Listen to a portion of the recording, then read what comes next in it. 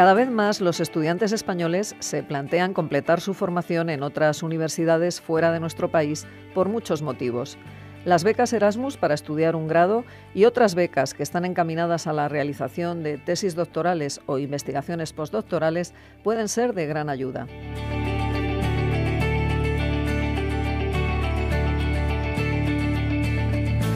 Hoy nos acompañan en el estudio Víctor Verdejo y Javier Suárez. Ambos se fueron a Inglaterra para completar sus estudios sobre filosofía de la ciencia. Para hablar con ellos sobre su experiencia más allá de nuestras fronteras, contamos con David Teira Serrano, que es profesor de filosofía en la UNED.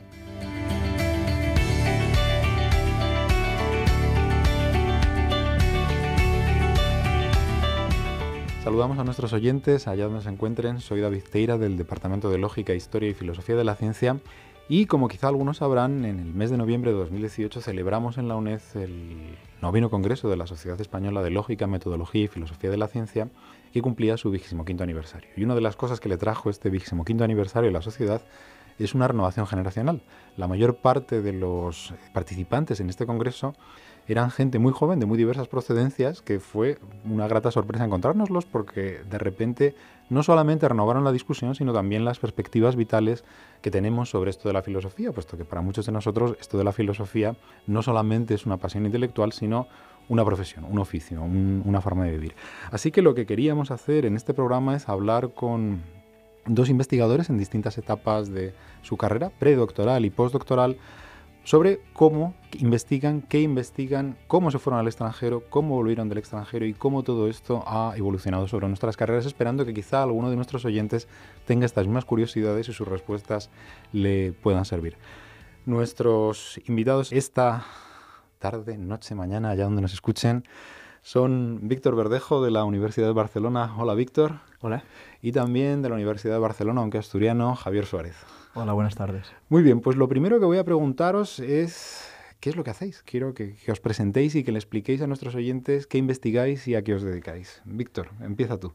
Bien, eh, yo soy un eh, filósofo de la mente, me dedico a la investigación sobre, especialmente sobre conceptos y contenido mental, aunque también eh, en relación con las ciencias cognitivas.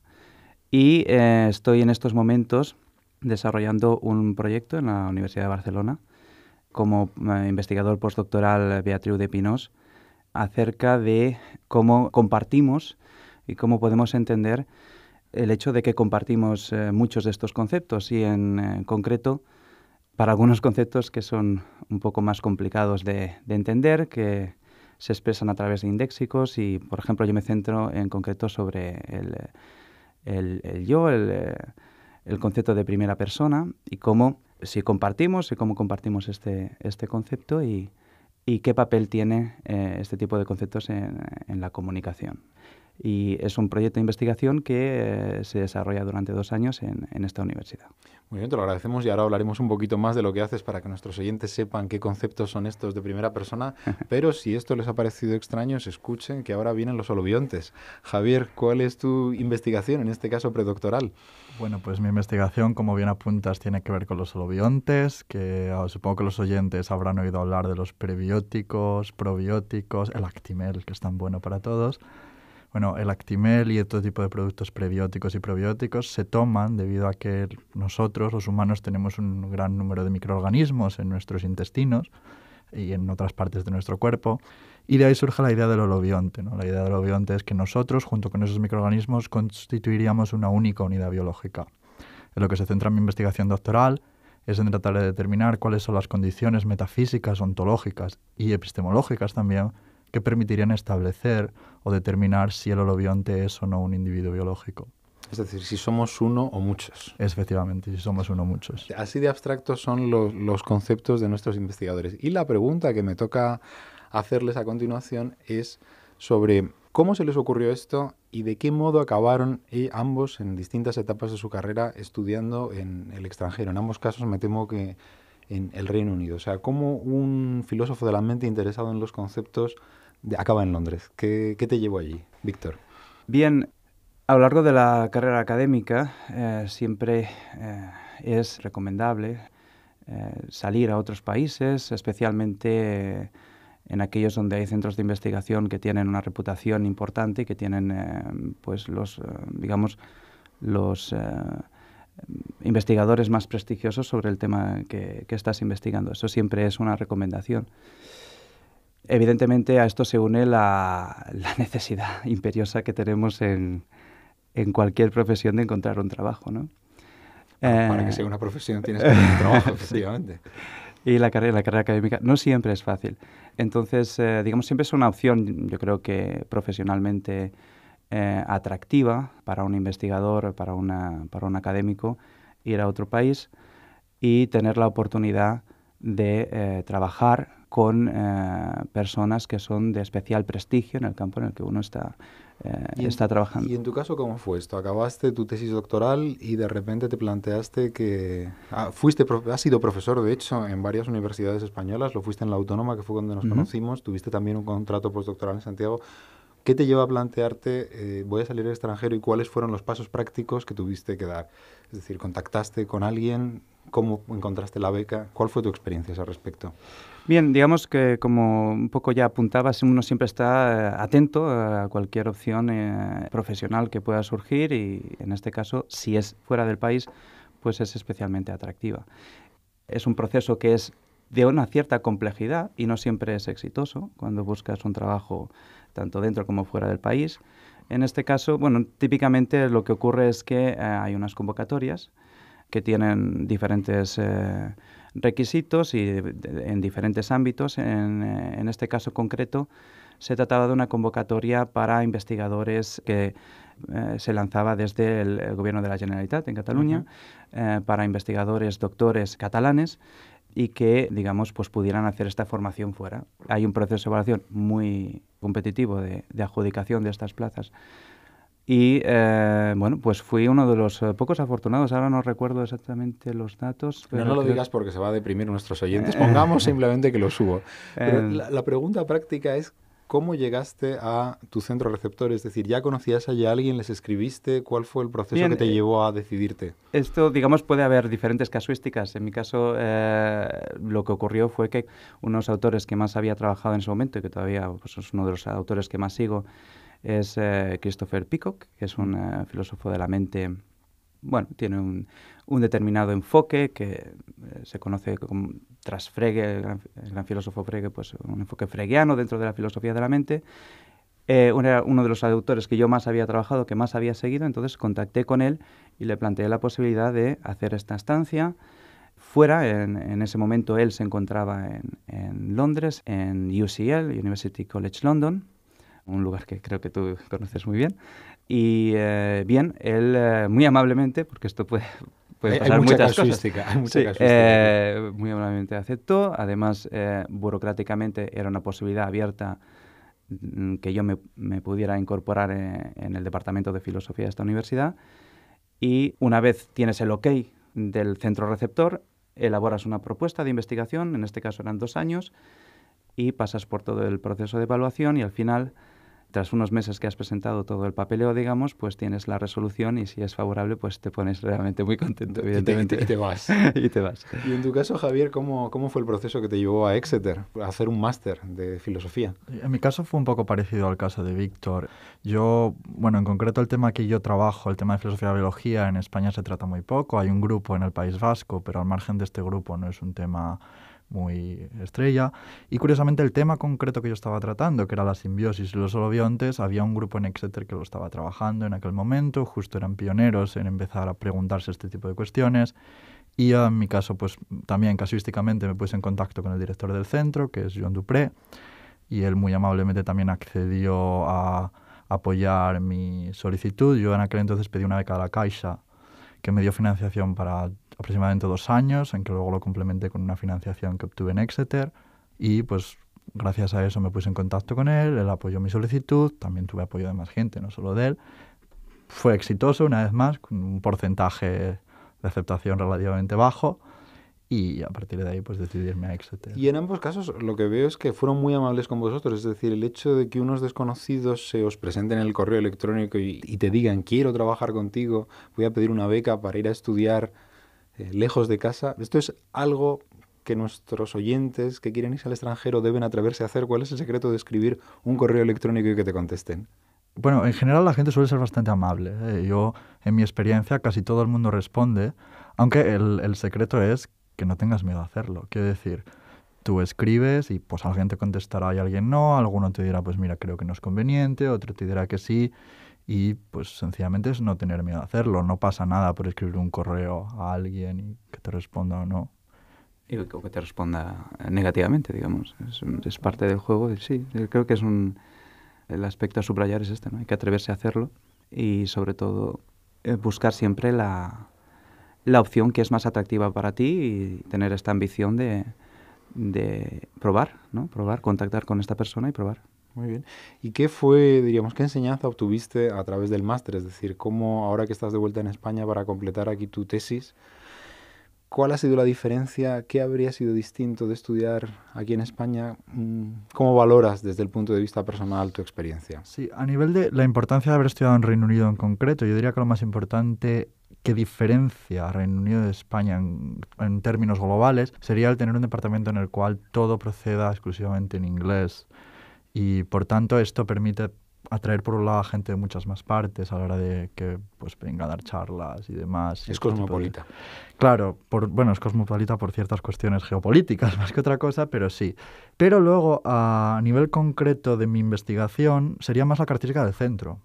Es decir, eso se podría haber hecho en el País Vasco, la parte correspondiente a mi investigación, porque en el País Vasco hacen cosas parecidas. En concreto, lo que yo hacía concreto de simbiosis se hacía en Exeter, pero podría haber sido en España. Uh -huh. En cambio, el ambiente de trabajo exclusivamente inglés y demás sí que es una ventaja que tiene Reino Unido que no tiene tanto España. ¿Y la ventaja es? La ventaja es, pues, primero, tener un ambiente de trabajo inglés todo el rato, es decir, las 24 horas, y teniendo en cuenta que publicamos fundamentalmente en inglés, nos comunicamos fundamentalmente en inglés, etcétera, tiene ciertas ventajas que no todo departamento en España lo tiene. Y en segundo término, el que permita atraer más investigadores a la hora de dar charlas y cosas de ese estilo, con lo cual entras en contacto con un público mucho más amplio, del que entrarías en todos los departamentos de, de España, diría yo. Y en el caso, Víctor, de tu propia estancia postdoctoral, ¿cuál habría sido el beneficio intelectual o personal de, de la experiencia? Bien, eh, no siempre es eh, fácil describir bueno, todo lo que te aporta una, una estancia de investigación. En mi caso fueron dos años eh, muy intensos. Yo fui allí, un, un, aspecto que no he comentado, yo fui allí con mi familia. ¿no? Claro, esto es importante. ¿Ya tenías a tus niños? En ese momento tenía un niño, sí, o sea, éramos una pareja, matrimonio con un hijo eh, de eh, dos años. Eh, entonces, claro, hay un proceso de adaptación personal importante a la cultura, a la manera de vivir, a los ritmos. Eh, en nuestro caso, de una ciudad, bueno, eh, muy potente como es Londres, ¿no? Luego, desde el punto de vista más profesional, yo creo que, bueno, quizás detrás de esta estancia eh, tengo la sensación de haber crecido mucho profesionalmente. Mis capacidades creo que son eh, mucho mejores de lo que eran antes de esta estancia. Tienes la oportunidad de estar con gente que quizás nada más conoces a través de libros, pues puedes conversar con ellos. Puedes conocer mucho más de cerca el meollo de las cuestiones, las discusiones, los debates. En, Londres, además, hay una, una gran vida intelectual, eh, de actos de muy diverso tipo, pero también del, del, tipo en que uno está trabajando. Y eh, bueno, pues ofrece una, una gran oportunidad para, para, aprender y para mejorar en eh, muchas de las cosas que, que, uno mismo hace y quizás... ¿Qué, ¿Qué, hacías antes? O sea, ¿qué haces mejor ahora que antes? Ponnos un ejemplo. Bueno, aparte del inglés, quizás, ¿no? Ya me ha quedado claro que vamos, habláis mejor inglés después que antes. Bien, esto era de esperar. ¿Algo más?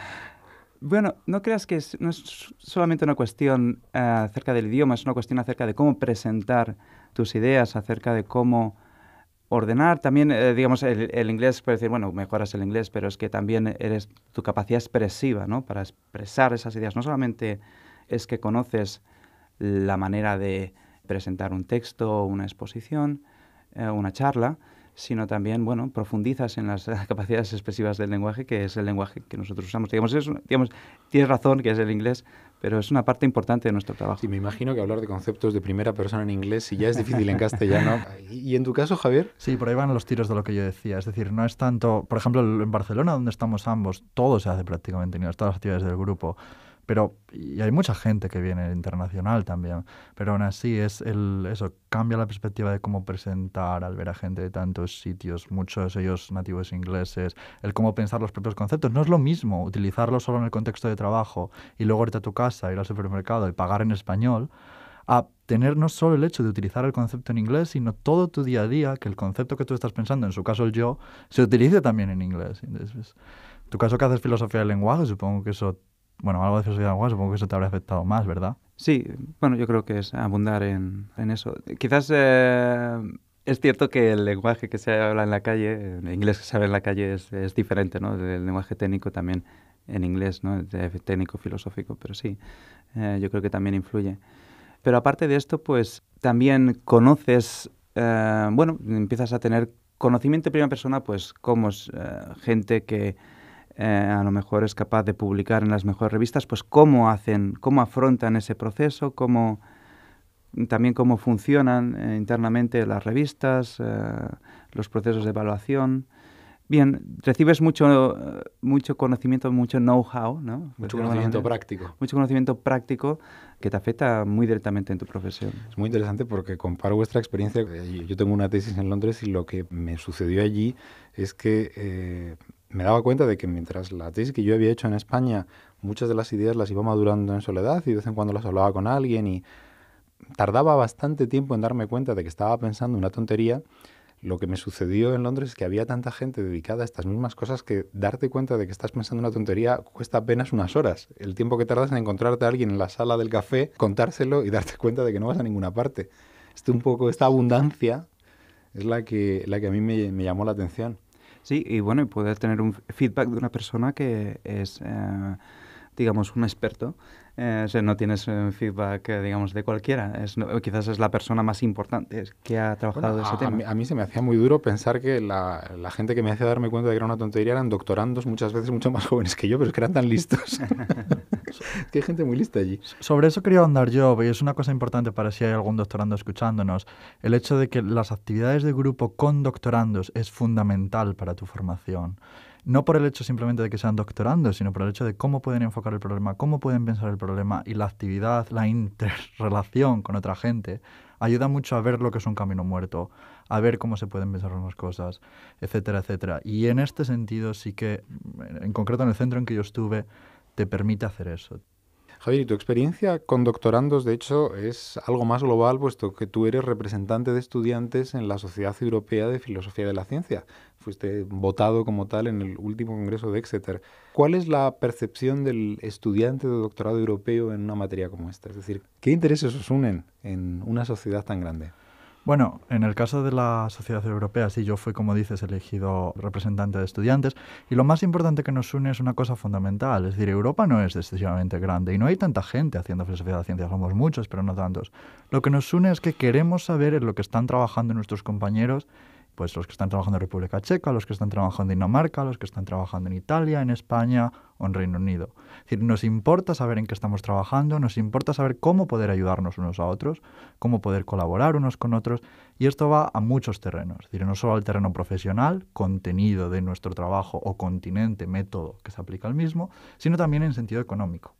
Y uno de los proyectos que estamos desarrollando ahora es un proyecto para que los estudiantes del Este, estudiantes de doctorado y postdocs, por los cinco primeros años... De la Europa del Este. De la Europa del Este.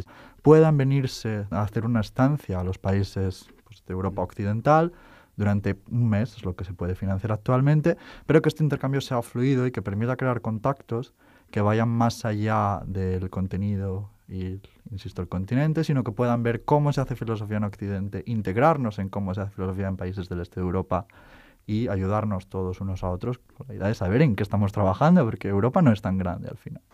Víctor, ¿y tu experiencia de vuelta en, en, España con una postdoctoral, cómo ha sido? Es decir, después de alcanzar el nivel de discusión y la intensidad del debate de una ciudad como Londres, de vuelta en Barcelona, que filosóficamente es espléndida, ¿Qué perspectivas se abren? ¿Qué nos dirías aquí? Bueno, una de las cosas que también quería comentar es que a través de mi estancia allí, evidentemente, pues adquieres una comprensión mejor de, mm, de las cosas que estás trabajando y mi trabajo en este momento está directamente relacionado con eh, mi aprendizaje allí, ¿no? Yo, por ejemplo, hasta llegar allí no había trabajado el, concepto de primera persona porque es, digamos, uno de los conceptos más complicados de, entender y de analizar. Y, eh, bueno, pues a raíz de, de, este entrenamiento, de esta estancia de investigación allí, pude elaborar una propuesta de investigación nueva que antes no existía, centrada en el concepto de primera persona y lo que comentaba al principio sobre cómo compartimos conceptos y cómo nos comunicamos a través de estos conceptos. Luego, evidentemente, bueno, pues eh, digamos, esta es una opción que, salió bien, pero eh, yo, por ejemplo, eh, no pude inmediatamente enlazar un puesto académico después de mi estancia en Londres. me llevó aproximadamente un año. Bien, es una constante, ¿no? para la gente que, que está en la academia, que elige esta, línea profesional siempre está, digamos, uno en un, en un proceso, en al menos digamos los que somos jóvenes o no tan jóvenes investigadores, ¿no? Eh, estamos en un proceso de continua búsqueda de, trabajo y, bien, yo estuve buscando trabajo durante un buen tiempo y no lo encontré. Estuve un año, digamos, en el dique seco. Pero bueno, después de esto conseguí este nuevo contrato postdoctoral ah, en una universidad eh, española en Barcelona y eh, bien, ahora la perspectiva es muy positiva, digamos, la, capacidad que he tenido, que, que, me ha brindado esta estancia, porque me ha permitido seguir una línea de investigación que me ha llevado a tener otro contrato postdoctoral, pero bueno, un poco que quieres un puesto de trabajo permanente. No, bueno, eso es evidente. Escuchas ofertas. Digamos que ahora estamos ya buscando el siguiente capítulo, ¿no? Otro proyecto de investigación. Efectivamente, uno de los eh, grandes dilemas de la mayor parte de nuestros investigadores postdoctorales, no solo en España, pero en toda Europa, es que efectivamente se van acumulando contratos postdoctorales y te encuentras a gente con unas trayectorias de investigación increíble, pero que cada dos años tiene que dejar todo lo que está haciendo para ponerse a buscar su nuevo destino. Así es. Trabajas en múltiples ciudades, tú has trabajado en Barcelona, en Madrid, en Santiago, en Londres, no sé si me dejo alguna, pero con una familia, efectivamente, esto impone muchos sacrificios y una enorme, eh, un enorme compromiso con tu profesión para poder sacarla adelante. Así es, quiero ser honesto, es un, es un enorme compromiso que, digamos, a veces eh, se debilita, ¿no? Por las circunstancias adversas. La clave está en siempre intentar hacer lo que, aquello que es tu vocación y, y bueno, uno quiere creer y quizás sea verdad que al final, eh, al final las cosas salen bien si, si, lo buscas y perseveras. Sí, si no tiene un currículum tan espléndido como el tuyo. y en tu caso, Javier, ¿cuáles son tus perspectivas? ¿Qué esperas de, de la defensa de tu tesis y del ciclo posterior? Bueno, lo primero espero aprobarla, ¿no? Ya una vez que se apruebe... no, bueno, pues no sé, es, claro, como ha dicho Víctor, y en esto tiene razón, pues en un mercado laboral que es un poco complicado, ¿no? Por utilizar un eufemismo, pues genera dificultad, plantear qué hacer después, pues la idea sería seguir buscando, tratar de encontrar una estancia postdoctoral, en mi caso también intentaría volverme al Reino Unido, probablemente por circunstancias personales, y pues sencillamente intentarlo hasta que se consiga algo y si no, ver que... Espero conseguir algo, o sea, que intentarlo hasta que consiga algo, seamos optimistas. ¿Y qué tipo de convocatorias te estarías planteando, Víctor, entonces? Eh, bueno, sí, siempre uno tiene el radar puesto, ¿no? Buscando diferentes opciones. Simplemente quería apuntar que desde en estos momentos, pues una de las posibilidades que se abren es eh, una otra estancia de investigación. En este caso sería en Alemania, eh, dentro del programa Marie Curie eh, es un programa europeo de estancias postdoctorales y también para académicos ya senior. Y bueno, en esta nueva etapa de investigación eh, pasaría, digamos, del concepto de primera persona a temas relacionados con eh, la conciencia del propio cuerpo, ¿no? La conciencia, la conciencia y la experiencia del yo, pero a través del propio cuerpo, que es un tema que en estos momentos, pues, está muy en boga y hay diferentes eh, autores que están trabajando en ello. Y uno es en Alemania, Hun Yu Wang, que eh, bueno, es otra de las personas que ha apoyado mi, mi, solicitud. Y bueno, en este caso, pues eh, esperemos que, que, todo salga bien. Si no, pues tendrá que ser otra cosa. Ahora hay que ir buscando. Escuchas ofertas. Javier, ¿hay futuro más allá de los holobiontes? ¿Qué querrías hacer después?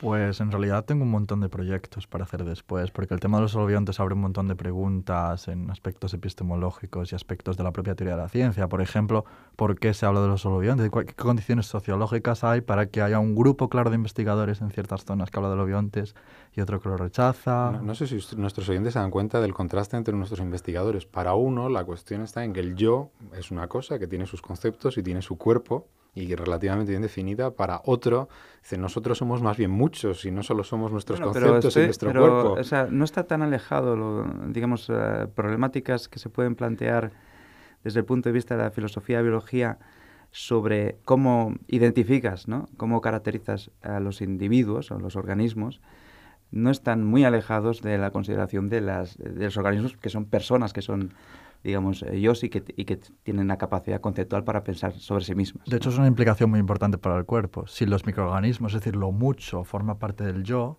entonces tienes que pensar el cuerpo como mucho y tienes que cuidar tu flora. Con este mensaje tan positivo que seguramente muchas marcas agradecerán, tenemos que despedir a nuestros invitados, a Víctor Verdejo y a Javier Suárez, agradeciéndoles mucho que hayan compartido su experiencia con nosotros y esperando que nuestros oyentes puedan aprovecharlos. Gracias a ambos. Muchas gracias a vosotros. Muchas gracias a vosotros.